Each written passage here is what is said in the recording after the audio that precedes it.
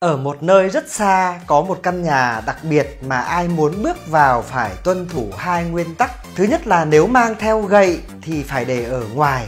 Thứ hai là khi bước vào nhà phải đội thêm một cái mũ. Để đưa một số vào trong căn hãy nhớ về ngôi nhà đặc biệt đó và thực hiện theo những quy tắc đó.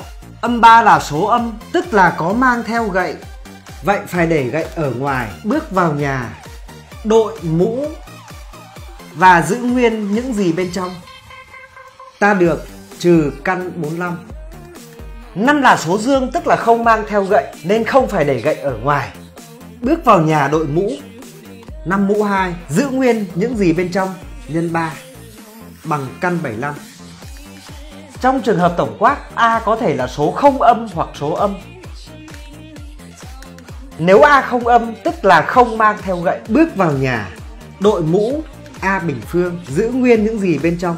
Nếu A bé hơn không tức là có mang theo gậy để gậy ở ngoài. Bước vào nhà, đội mũ, giữ nguyên bên trong. Bạn hãy biến đổi âm 5 nhân với căn 2 thành một căn bậc 2. Comment đáp số của bạn ở phía dưới. Nếu các bạn thấy video này hay thì hãy chia sẻ. Đừng quên like page Toán Thầy Kiên để nhận được những bài toán hay tiếp theo.